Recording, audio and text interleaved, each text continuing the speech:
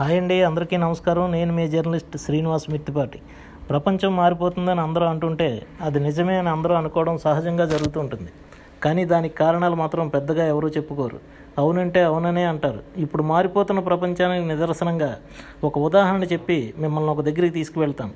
ఈ రోజున భార్యాభర్తలు ఇద్దరు ఉద్యోగాలు చేయక తప్పని పరిస్థితులు ఉన్నాయి ఎందుకంటే ఎవరి స్థాయిలో వారికి ఖర్చులు ఉన్నాయి ముఖ్యంగా సాఫ్ట్వేర్ ఉద్యోగులను చూసుకుంటే భార్యాభర్తలు ఇద్దరూ తప్పనిసరిగా ఉద్యోగాలకు వెళ్ళాల్సిన పరిస్థితులు నెలకొన్నాయి. ఈ క్రమంలో భర్తలు తమ భార్యలతో జీవితాన్నే కాదు పనులను కూడా షేర్ చేసుకుంటున్నారు. ఇది భారత వివాహ వ్యవస్థలో ఒక గొప్ప మార్పుగా మనం చూడాలి.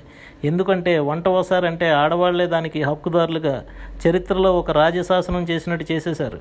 ఆడపిల్ల పుడితే ఇక ఇంతే ఇంట్లో బండెడు చాకరీ చేయాలని చరిత్ర పాఠాలు చెప్పినట్టు బుర్రలకు ఎక్కించేశారు. ఇప్పుడు ఆ పరిస్థితులు లేవు.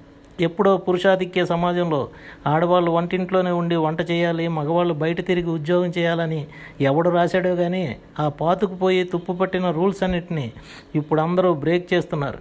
ఆ బ్రేక్ ద రూల్స్ అంటున్నారు. ముందుగా కాలంతో పాటు వచ్చిన మార్పు ఏంటంటే తమతో పాటు సమానంగా ఉదయం నుంచి సాయంత్రం వరకు ఉద్యోగంలో కష్టపడుతున్న భార్యల కష్టాన్ని గుర్తించి వంటింట్లో భర్త సహాయపడుతున్నారు.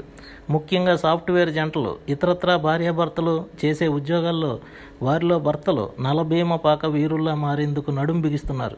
అందుకనే మీకోసం నలభీమ పాక శాస్త్రాన్ని అవపోసన పెట్టి ఏదో పొద్దున మొదలుపెట్టి సాయంత్రం వరకు గరిటి తిప్పి అద్భుతంగా చేశామని జబ్బలు చరుచుకోవడం కాదు. కేవలం పావు గంటలో ఎంత గొప్ప వంటనైనా అలవోగ్గా చేసే ఆ ఆర్ట్ని మీకు నేర్పించడానికి వస్తున్నాడు రాజమహేంద్రవరానికి చెందిన బేత రామకృష్ణ. ఈయన గురించి చెప్పాలంటే ప్రతి మనిషిలో జన్మతహా కొన్ని ప్రత్యేకతలు తెలియకుండా వచ్చి ఉంటాయి. అందుకనే మీరు ఇలాంటి విద్వత్తు ఉన్నవారు చేసిన వంట ఇంట్లో చేసి చూడండి అందరి చేత శభాష్ అనిపించుకోండి. అందుకని మీ జర్నలిస్ట్ వేదికపై నుంచి నలభైమ పాక శాస్త్రంలో మెలకువలు నేర్చుకునే అందరికీ ఇదే మా ఆహ్వానం. ముందుగా సంక్రాంతి సందర్భంగా చేసుకునే పిండి వంటల్లో ముఖ్యమైనవి మీకు వివరించేందుకు మన రామకృష్ణ వస్తున్నారు.